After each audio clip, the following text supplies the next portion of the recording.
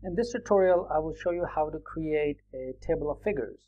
In the previous tutorial, um, you've uh, seen how we can create a table of contents, right, automatically and manually. So if you have a bunch of pictures in your document, in your research proposal, or your research paper, uh, or article that you're writing, or blog that you're writing, it's much easier to work with table of figures uh, instead of manually trying to insert a, a subheading uh, for a specific image or picture. Okay, so let me uh, demonstrate this to you right now. This is our sample document open. I've already opened it. Okay, and uh, same headings, same everything, just like in previous tutorials. What I'm going to do is I'm going to insert a few pictures, and I will demonstrate along the way how to create a table of figures at the end. Okay, so let's say, for instance, I like to insert a picture here right after introduction. I like a nice image here to show the introduction straightforward. I just go up to my insert tab and in my illustrations group insert pictures okay here are some sample pictures that I have so how about um, hey I like this I like this cat okay so let's insert this cat here okay. make it smaller okay. and work we uh, work with some of the options of the picture itself uh, how to place the picture, how to change the picture. I can do that. Um, and again, this this is pretty uh, pretty straightforward when you're working with it. Okay. So once I've inserted the picture, do this. I can uh, position the picture wherever I want, the way I want it to be. Um, so let's do this, this, and again, Word 13 automatically does it, or you can manually do it from from the uh, from your editing page when you double click on the picture. It brings up the formatting tab. And here you can format the picture uh, however you want. Um, play with it. Uh, it just depends on uh, you know what type of picture style you want in your in your Word. So I'm just going to go ahead and uh, uh, let's see which one looks much better. How about okay? How about this? All right. So I've inserted a picture. Nice picture in my introduction tab. Uh, what if I want to label this picture, right? What is this picture all about? What is this figure? What do I want to call it, how do I work with it, okay. So notice there's no space here on the bottom, so I can cannot really label this, okay. Um, and then eventually create a list of all the pictures. What if I have over 50 pictures in my um, research proposal or document or my article? Um, how would I uh, sequentially keep track of them? Okay? And that's exactly what I'm going to show you now. So first, we insert a picture. Once you've inserted the picture, uh, let's go to our references tab and uh, notice I'm interested in this captions group okay where it says insert table of figures okay, and insert caption. Now, obviously we have to insert captions first before we insert table of figures. So first when we insert a caption it basically labels our picture. So once you've added a caption you can reference your object anywhere in your document by inserting a cross-reference. So um, I can uh, jump from picture to picture or reference this picture at later points in the, uh, later uh, areas within my document. All right, so here's my picture. I select the picture, click Insert Caption, and Word automatically pops up a dialog box, caption dialog box, and uh, it fills up with this custom field, which is Figure 1. Okay. I can label, change labels. Okay, I can say Shape 1, I can say Equation 1, Table 1, Figure 1, and so forth. Or I can create my own new labels okay, whichever I want. Um, I can also number it. So I, if I don't want figure 1, uh, if I want figure A, figure Roman numeral I, okay, I can do that. Okay. Um, if, I, if I'm working with different chapters, working on my uh, thesis or dissertation or, or long document, different documents, different chapters, I can specify uh, chapter starts with style heading 1 and use a separator as well depending on the type what I want.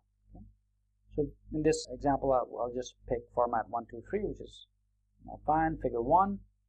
Notice the auto caption button here. Uh, this is very handy, especially when you're using many uh, images within your document. So Word is going to automatically keeps numbering those. Okay, so for example, I've checked this up to be a bitmap bitmap image since I've inserted an image. So once I check this box and click OK, Word is uh, is going to automatically insert figure one, and then my next picture is going to be figure two, and then the following picture would be image would be figure three, and so on. Okay, so you don't have to manually enter the numbers. Okay, that's all this does. So once I've specified, I click OK, and you see that figure one is now inserted under my picture because I wanted it below. I can have it on the top as well. Okay? And that was one of the options. So once I've inserted the picture, notice Word brings up its own uh, text box. If I wish, I can group these two together so they stick together or I can leave it as it is. It depends. So to grouping is very easy. You just uh, select this text box, which figure 1. Hold the control key on the keyboard and select the picture. Notice how it highlights both of them.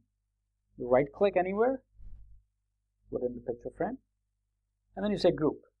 So you group them. So notice this entire picture, including the table of contents, is part of one group. So if I move it anywhere, um, the, the figure one also moves it. So just a quick tip I wanted to show you. All right, so here's my first picture. Let me go down to my next heading. Uh, here, I like to insert another picture, so I go back to my insert menu and I'm looking for my picture. Okay, insert picture, same thing. Uh, this time I'm going to insert a nice sunflower here. All right, so fix the wrapping here. Wrapping, okay. Up here. Okay, here's my picture. So notice if I double click, it brings up the formatting tools. If I click once, it does the same thing. So double click means editing. If you click once, Word brings up the editing tools. Okay. Um, so picture frame, symmetry. Go back up to my uh, references tab and add, insert a caption. And notice this time when I insert a picture, Word, Word automatically says figure 2, okay, because that's auto captioning. Click OK. Scroll down to my third heading. Do the same exercise again. Insert picture. How about a nice bicycle here text wrapping.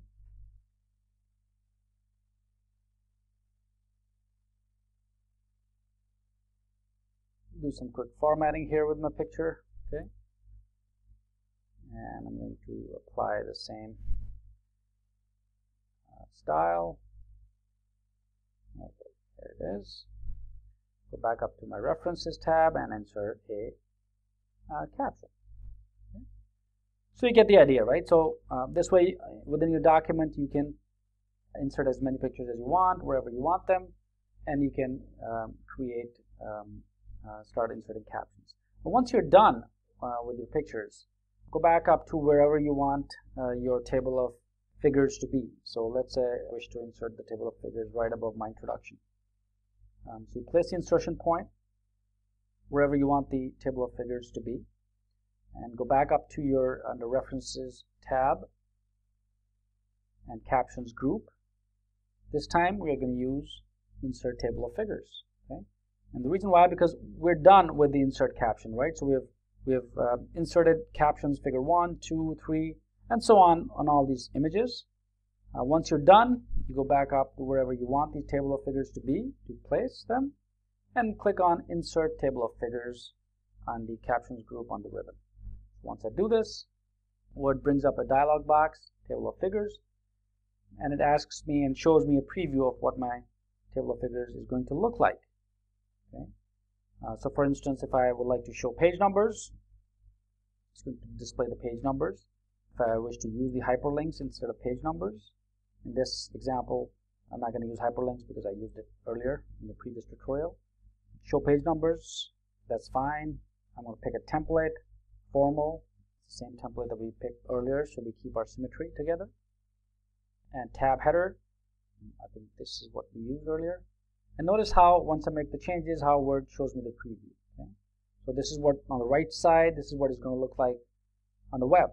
Okay? So if you were to publish this document on your website or on your blog, this is what it's going to look like. Okay? And if I use hyperlinks, this is what it's going to look like. On the left side, this is how uh, it's going to look like on my within my document. I have a couple of options here. Um, simply build table of figures from balloon text, my style. So again, if I have a, a preset style made for my table of figures, I can use that. I can pick that, okay, from the styles. If not, Word would default to uh, whichever that is. Okay. All right, so once I'm uh, done configuring the options, I click OK, and Word automatically creates the table of figures for me.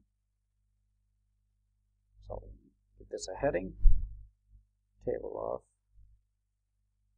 figures. Okay. Remove this extra line, and here we are. This way, it's now going to update automatically. So for instance, uh, we have three figures, right? Figure 1, figure 2, figure 3. Uh, let's let me scroll down. Okay a couple of pages down here my next heading and I'm going to show you something. So here for example ah, I just remembered that I'm going to insert another picture. So do the same exercise again insert and then go to picture. How about this circle of stairs here